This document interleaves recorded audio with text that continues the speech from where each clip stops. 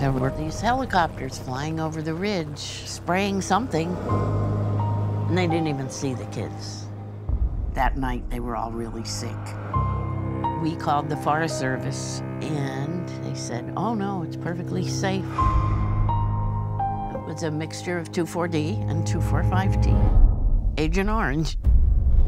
And it's still going on. And here he comes. I gotta reload him. This stuff is nasty stuff. My throat is burning. Tumors, miscarriages, birth defects. It was banned in Vietnam, and nobody realized that the same chemicals were being used here. It was the most destructive instance of chemical warfare in modern history. Je suis née pendant la guerre, je vis dans la guerre, et maintenant aussi on est en guerre. The powers that be went to great lengths to deny any effect from Agent Orange. They knew that it contained a poison, and they knew the effects could be devastating.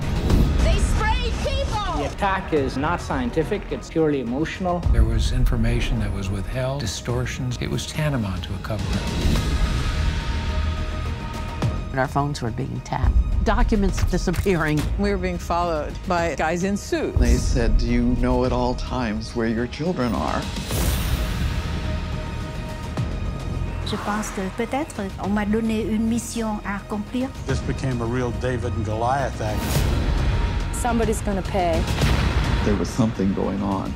How can something like that disappear? I was getting so angry. They had done the absolute worst thing anybody could do to me. They couldn't do any more.